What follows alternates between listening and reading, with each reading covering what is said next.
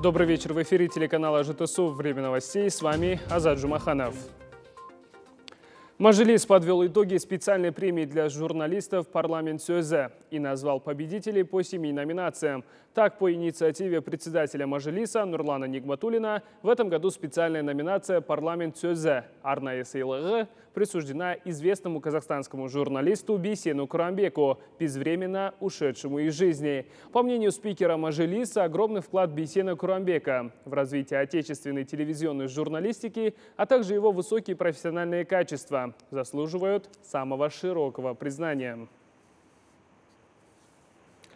Пропагандируя единство, профессиональный праздник готовится отметить члены клуба ведущих журналистов и эксперты Ассамблеи народа Казахстана Алматинской области. Напомню, День журналистики сотрудники казахстанских СМИ и пресс-центров отмечают 28 июня. В этом году он приходится на последнее воскресенье месяца. А между тем, клубу ведущих журналистов АНК исполнилось 10 лет. Стоит отметить, что он стал первым региональным клубом в нашей стране, созданным сразу после республиканского Луганского. Сегодня в его состав входят журналисты ведущих республиканских и областных средств массовой информации, а также эксперты, представители этнокультурных объединений. По словам председателя клуба Ацалима Идигова, он был создан как своеобразная школа журналистики. И сегодня его основными задачами являются укрепление толерантности, сохранение межэтнического и межконфессионального согласия в государстве, гражданского единства, патриотизма и духовно-культурной общности мнений, может быть, что-то надо...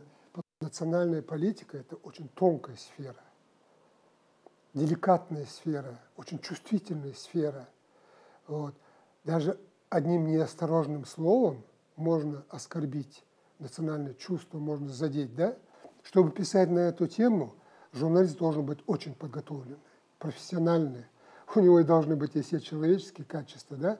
То есть этот человек должен быть, ну, с чистым сердцем, да, вот, с чистой душой, такой нормальный во всех отношениях, у которого есть все эти э, добрые, светлые, хорошие человеческие качества. Ну, о профессионализме я уже не говорю, это само собой разумеющееся.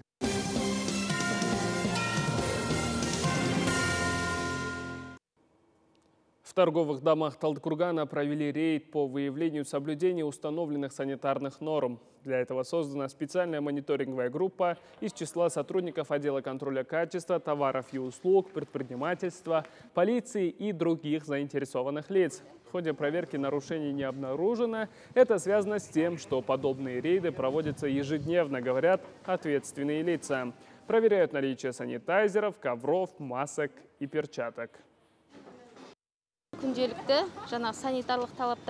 Мы на постоянной основе обходим торговые дома и точки областного центра. С начала июня выявлено более 70 различных нарушений. Сейчас продавцы уже привыкли к требуемым стандартам. Скопление покупателей не наблюдается. Коронавирус еще гуляет по городу, поэтому мы и дальше будем бороться против его распространения. Несмотря на пандемию коронавируса, в отелях Турции сохранят систему «Все включено». Но для эпидемиологической безопасности изменят некоторые моменты в организации питания. Отмечается, что шведские столы в отелях оставят, но на кухне регулярно будут проводить санитарно-гигиенические проверки. Еду гости не будут накладывать сами себе. Официанты будут подавать им желаемые блюда. Благодаря принятым мерам туристические объекты Турции имеют международную сертификацию.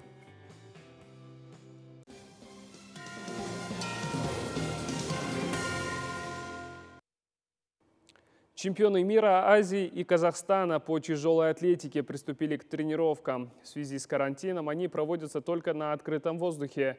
Для этого на базе Талдыкурганского спорта-интерната развернута специальная площадка со всем необходимым инвентарем.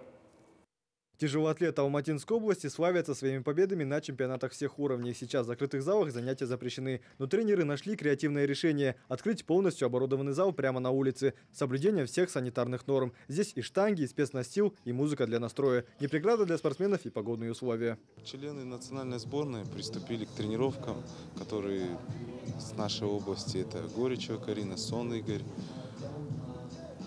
Акмалдас Айрамкес, Аульханов Аблай, и в ближайшее время э, национальная сборная 5 июля начнется сборе Талгари, Ваиба в составе национальной сборной. Сейчас пока набираем форму, вот с 1 июня уже 21 день, хорошие ребята, хорошая оптимальная форма. И спорт-интернат создал условия. Мы поговорили с руководством, вот э, начальник управления Нурбахыт Молдахметович разрешил, что на открытом воздухе можно. Мы решили так вынести помосты, установить штанги и работать. Конечно, бывают такие погодные условия, там чуть ветер, бывает дождь, дождик бывает, но все равно мы работаем, потому что не холодно. Впереди тяжелоатлетов ожидает еще много работы, несмотря на то, что в форме спортсмены примерно на 80%. Полной готовности они смогут добиться уже на больших сборах в Талгарском районе на базе АИБа. Планируется также проведение чемпионата Казахстана в Тавдокургане в начале сентября. А члены национальной сборной должны принять участие на лицензионном первенстве. Однако точные даты еще неизвестны. В зале комфортно, там все удобства есть, а тут на улице все равно же что-то не то. Поэтому я думаю, когда мы в зал перейдем, мы будем ценить, что у нас есть такой зал. Во время карантина у меня дома есть э, подвал, ну, в моем доме подвал, и я туда штанги взяла, и вот тренер писал мне план, и я сама тренировалась. А сейчас вот на улице с командой тренируемся. Планы на ближайший месяц на самом деле строить еще рано, говорят тренеры. И потому важно сейчас именно работать над собой, набирать силу. К слову, тренировки проходят в классическом режиме. Упор делается на рывок и на толчок. Алексей Цуер, Жан Дюйсен, телеканал ЖТСУ, Талдыкурган. Это вся информация к этому часу. Встретимся в 21.30.